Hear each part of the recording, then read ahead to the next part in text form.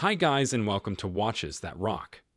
So today we'll be reviewing another 2023 addition to the IWC line, the reintroduction of the Ingenieur 40 Automatic. Whilst there are four new models, three of which are available in steel, we'll be concentrating on the titanium version for this episode. If you're familiar with the IWC Ingenieur collection, you'll know that the original was introduced in 1954 to 1955.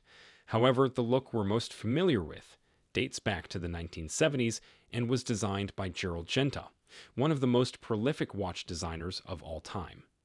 Whilst there have been reissues of this watch over the years, the current release takes it back to the 1970s.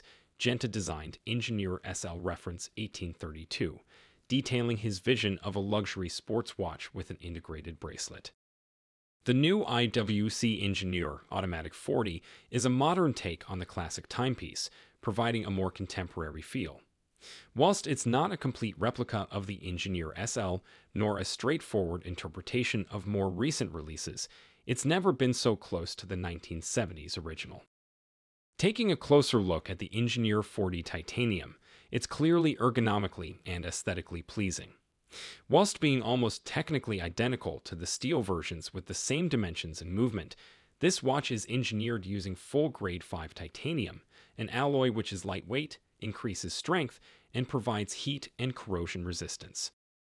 If you saw the previous episode of Watches That Rock, you'll know that the recent Rolex Yachtmaster 42 titanium release is also constructed of full grade 5 titanium, which Rolex have deemed their RLX titanium. So, this is clearly a preferred material amongst watchmakers because of its unique properties.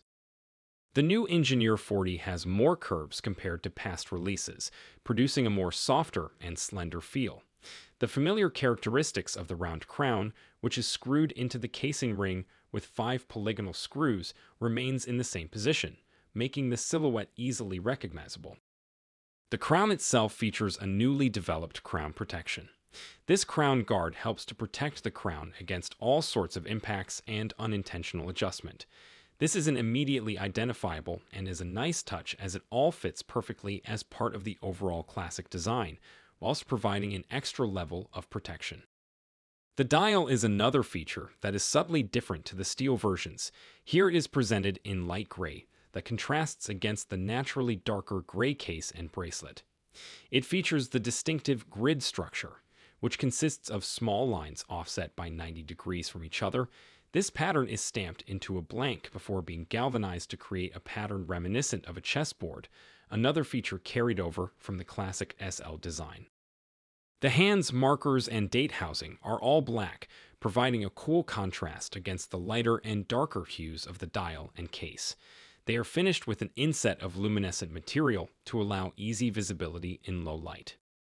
The dial is finished by sapphire crystal glass, which is convex with anti-reflective coating on both sides and secured against displacement by drop in air pressure. The Ingenieur 40 is water resistant to 100 meters or 10 bar and also retains an anti-magnetic soft iron inner case around the movement for protection against magnetic fields. This is symbolized by a small lightning bolt graphic on the back of the case to identify the watch as being anti-magnetic.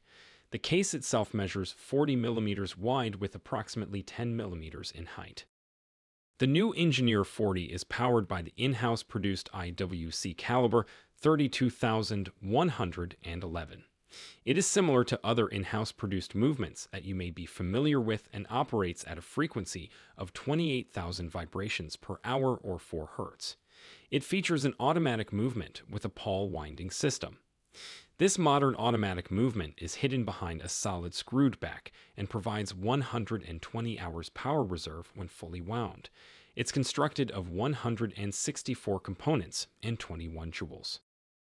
The watch is finished with the classic special structure and integrated H-link bracelet. This is an important feature of the watch as it is synonymous with the original Ingenieur SL. Like the case, the bracelet is also more rounded, which again is aesthetically and ergonomically pleasing, providing a comfortable watch wearing experience. The bracelet features a relatively simple, concealed butterfly style deployment finished with the IWC logo.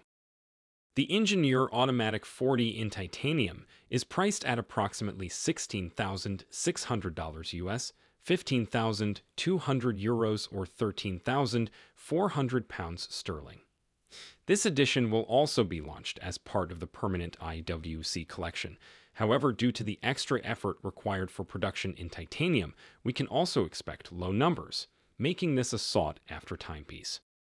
Overall, a great take on a modern day watch, and one which has been missing from the IWC line for some time.